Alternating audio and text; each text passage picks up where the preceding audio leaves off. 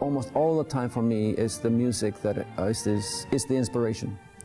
And in this particular case, it was definitely Saint-Saëns' music. I knew some of his piano concertos, uh, which I loved and admired for a long time.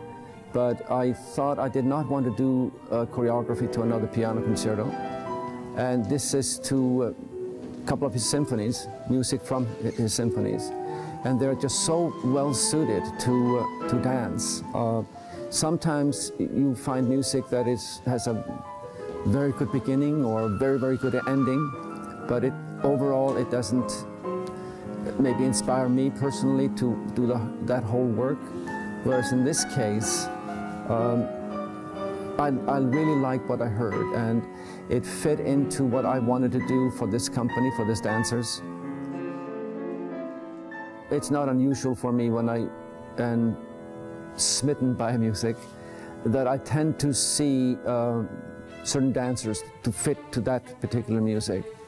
And it, it was the same thing here, different from uh, my work of Nanna's Lied, which sort of has a, a, a dark side, dramatic story to it, or even Chi-Lin, based on uh, Chinese mythology.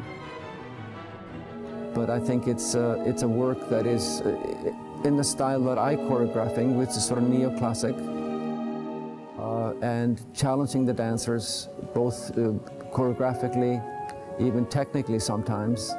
But I think it's just exquisite music, and um, so I'm, I'm very excited about it.